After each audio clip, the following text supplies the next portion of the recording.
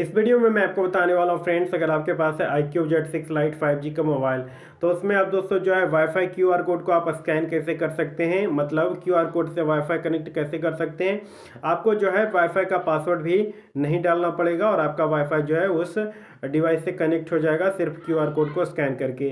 तो वो कैसे कर सकते हैं? इस वीडियो में मैं आपको बताने वाला हूँ। चलिए, ज़्यादा समय ना लेते हुए वीडियो को स्टार्ट करते हैं। बट उससे पहले चैनल पर नए हैं, चैनल सब्सक्राइब करिएगा। पास वाले नोटिफिकेशन बेल को दबाकर ऑल के ऑप्शन पर ज़रूर क्लिक करिएगा। इसके लिए आपको जाना है अपने I Q Z six lite five G mobile phone के सेटिंग्स में। सेटिंग्स में जाने पर यहाँ नेटवर्क एंड इंटरनेट का ऑप्शन मिलता है, इस पर क्लिक करना है। इसमें आपको यहाँ वाईफाई का ऑप्शन मिलेगा वाईफाई पर क्लिक करना है।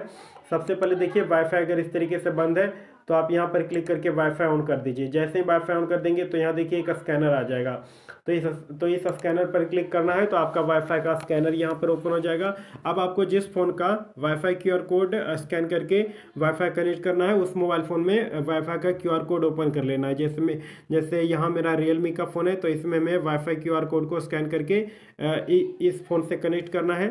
तो चलिए मैं इसमें वाईफाई का क्यूआर कोड ओपन कर लूँगा। तो वाईफाई क्यूआर कोड ओपन करने के लिए आपको जाना होगा सेटिंग्स में और रियलमी का फ़ोन है तो सेटिंग्स में जाकर कनेक्शन एंड शेयरिंग पर क्लिक करके पर्सनल हॉटस्पॉट में जाना होगा और हॉटस्पॉट को जब आप ऑन करेंगे तो एक क्यूआर कोड का ऑप्शन मिलेगा। क्यूआर कोड पर क्लिक कर देना है और चलिए हम फिंगर लगाते हैं।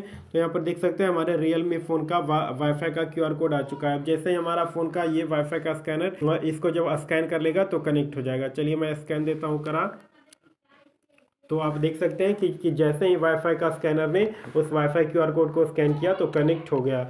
इस तरीके से आप दोस्तों वाईफाई क्यूआर कोड को आप स्कैन करके एक जो है क्यूआर कोड की मदद से वाईफाई कनेक्ट कर सकते हैं। वीडियो पसंद आया है लाइक करके चैनल सब्सक्राइब ज़रूर करिएगा।